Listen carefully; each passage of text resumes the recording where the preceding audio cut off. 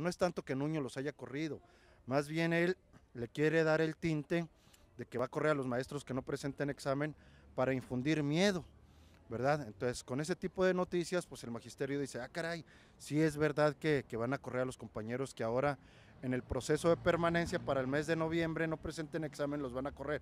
Pero es mentira, somos miles y miles de maestros que no vamos a presentar ahora en noviembre y yo te puedo, te puedo asegurar que no nos va a pasar nada. Van a buscar alguna estrategia mediática para, para buscar que los maestros puedan estar aplicando examen.